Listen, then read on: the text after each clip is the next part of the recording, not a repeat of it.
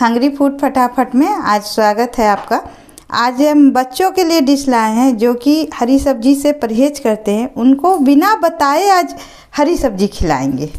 अब बनाएँगे पालक पराठा, जिसके लिए पालक लिए हैं, गाजर पराठा, जिसके लिए गाजर लिए हैं बीट रूट पराठा, जिसके लिए बीट लिए हैं, ये है, और स्टफिंग कर देंगे आलू का, और उनको पता भी नहीं चलेगा। अब सबसे पहले हम ये एक कढ़ाई में पानी डाल देते हैं।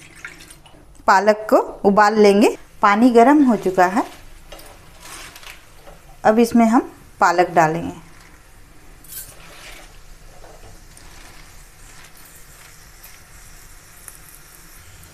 पालक को बस उतना ही उबालेंगे जितना कि सॉफ्ट हो जाए। देखिए, ये खोल चुक रहा है पानी।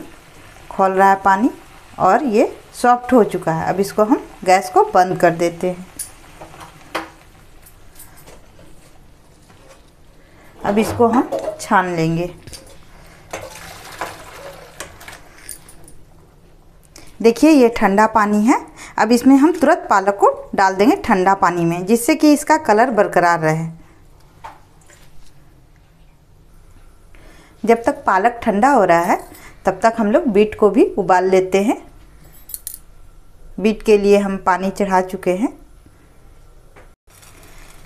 बीट को हम छील लिए हैं और छोटे छोटे पीस में काट लिए हैं। अब इसमें हम डाल दे रहे हैं। इसको भी सॉफ्ट होने तक पका लेंगे। दो मिनट के लिए इसको उबाल लेते हैं। ये देखिए, हल्का सा सॉफ्ट हो चुका है। अब इसको हम बंद कर देते हैं गैस को। अब हम जार में पालक को पीस लेते हैं।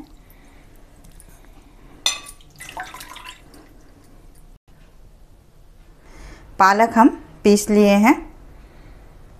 बीट को भी पीस लेते हैं। बीट रूट भी मेरा पिसा चुका है। इसको भी निकाल लेते हैं एक बर्तन में।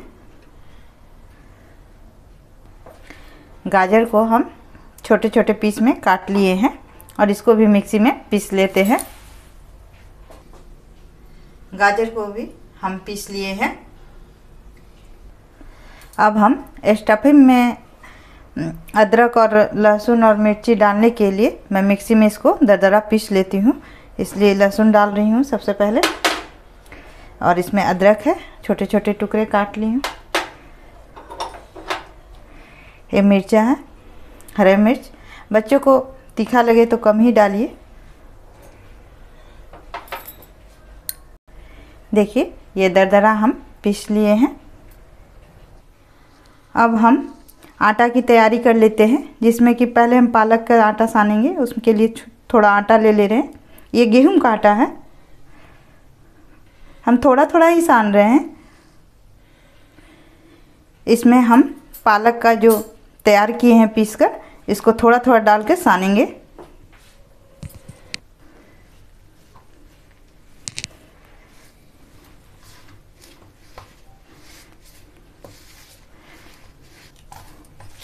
आलू जब हम भरेंगे तो आलू वाला जब भी हम पराठा बनाते हैं तो फट जाता है। उसके लिए आटा की तैयारी अच्छे से करनी पड़ती है। आटा जो है, रोज़ चपाती बनाते हैं ना, उससे थोड़ा गीला ही साने, इसको सॉफ्ट ही साने। उस तरह चपाती जिस तरीक़ा से रोज़ बनाते हैं, उससे थोड़ा सा इसको गीला सानिएगा। देखिए, इस तरीक़ा से हम गीला साने हैं ना, इस तरीक़ा से आटा को तैयार करिएगा। पालक वाला आटा तैयार हो चुका है। अब हम गाजर वाला आटा तैयार कर लेते हैं। उसके लिए भी हम थोड़ा आटा गेहूँ का ले लेते हैं। इसमें जो गाजर पीस के रखे वो डाल देंगे।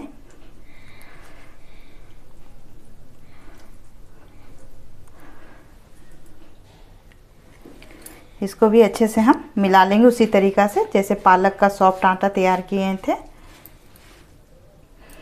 गाजर वाला आटा तैयार हो चुका है। इसको भी इसी तरीक़ा से हमने सॉफ्ट साना है। अब हम बीट रूट वाला आटा सानेंगे। उसके लिए भी हम गेहूँ का आटा ले रहे हैं। इसमें भी हम बीट रूट डाल रहे हैं। इसको भी हम उसी तरीक़ा से सॉफ्ट सान के तैयार कर लेंगे आटा को। देखिए, ये भी आटा तैयार हो चुका है। बीट वाला आटा। देखिए, तीनों आटा तैयार हो चुका है। ये रंग बिरंगे कितने अच्छे लग रहे हैं। बच्चों को बहुत पसंद आएगा। आलू का स्टफिंग तैयार कर लेते हैं। अब इसके लिए हम कढ़ाई चढ़ाए हैं गैस पर। इसमें हम दो चम्मच तेल डालेंगे। तेल गरम हो चुका है। अब इसमें हम प्याज डाल लेते हैं।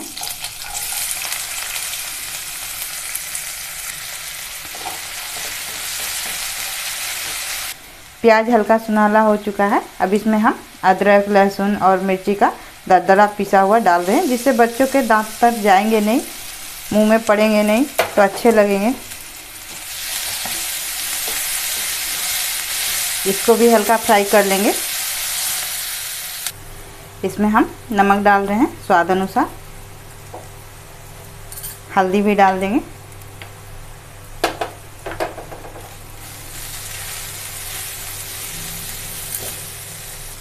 ये उबाला हुआ आलू है, इसको मैश कर लिए हैं। अब इसमें हम डाल रहे हैं। इसको भी हम थोड़ा फ्राई कर लेंगे।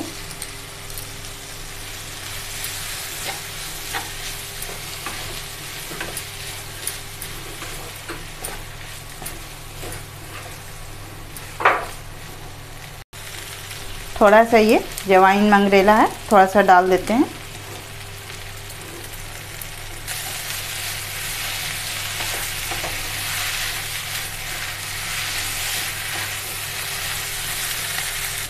इसमें हम थोड़ा धनिया पत्ता भी डाल रहे हैं ऊपर से।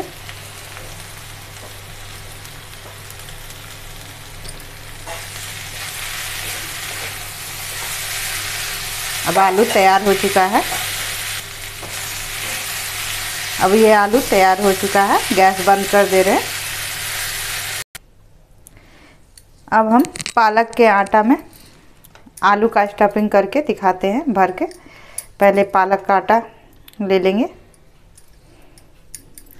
गीला है, इसलिए थोड़ा सूखा आटा डाल डाल के ही हाथ में इस तरीक़ा से गोल गोल पहले कर लेंगे। उसके बाद अंगूठा के दबाव से इसको कटोरा नुमा सेप देंगे।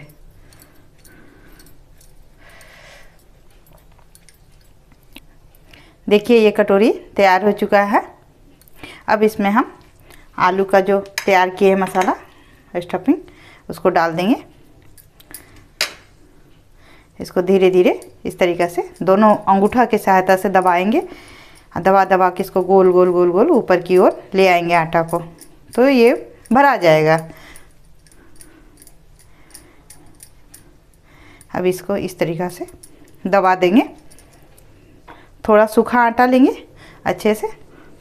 अब इसको हम हाथ की सहायता से धीरे धीरे धीरे धीरे धीरे धीरे इसको हम चिपटा करेंगे।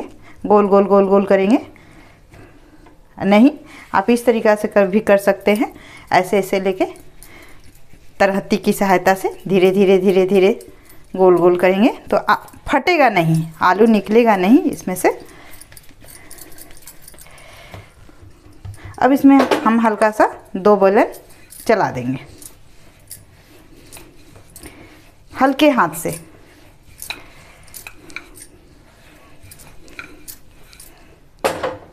देख रहे हैं? हमारा आलू फटा नहीं है।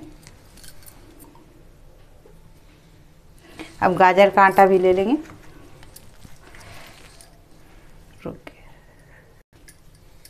इसको भी गोल गोल करेंगे। देखिए, ये कटोरी तैयार हो चुका है। इसमें भी स्टफिंग भर लेंगे आलू का।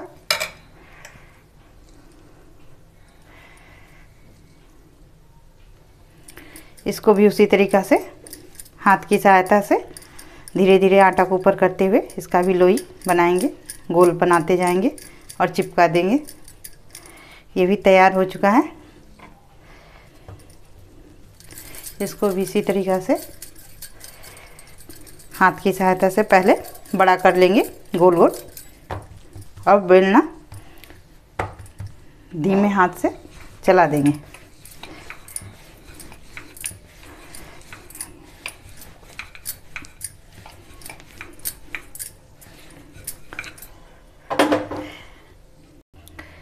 बीट वाला आटा का भी तैयार किया हुआ आटा, इसको ले लेंगे गोल गोल कटोरी करेंगे। कटोरी तैयार हो चुका है। इसमें भी स्टफिंग आलू का कर देंगे।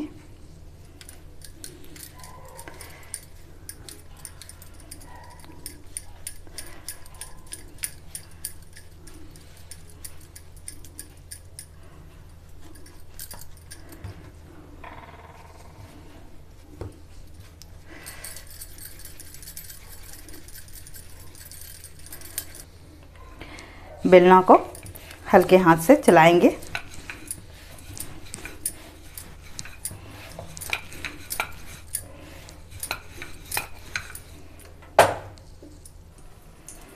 गैस पर हम तावा चढ़ा चुके हैं। अब इसको हम बारी बारी से सेक लेंगे। तावा गरम हो चुका है। अब इस पर हम पालक वाला भरा हुआ पराठा डाल रहे हैं।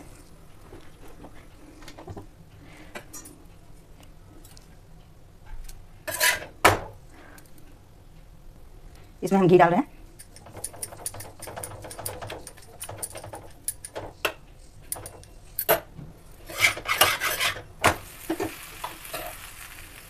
दूसरे साइड घी लगा देंगे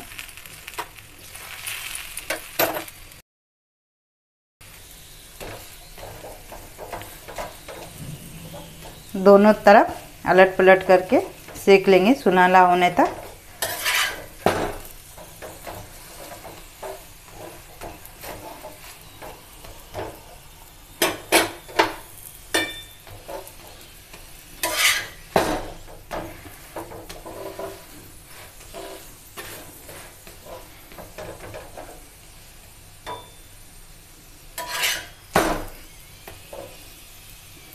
दोनों तरफ़ सुनाला हो चुका है, अब इसको हम निकाल लेते हैं।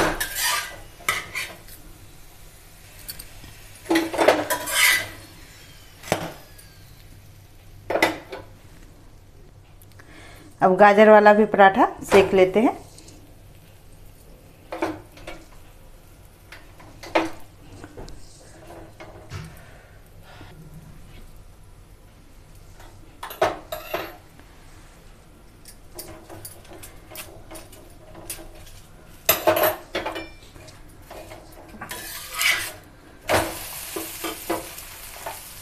दूसरे साइड भी घी डाल देंगे।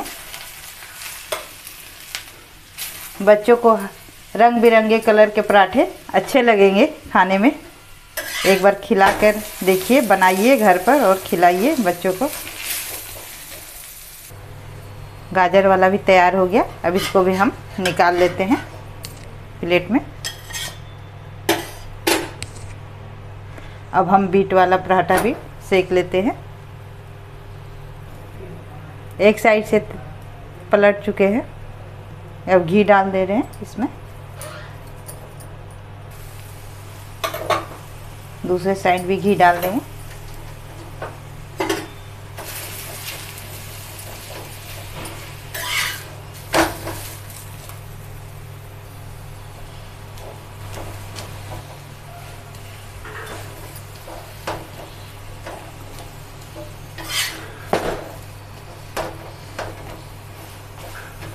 अच्छे से दोनों साइड सीख चुके हैं। अब इसको भी हम निकाल लेते हैं। तैयार हो गए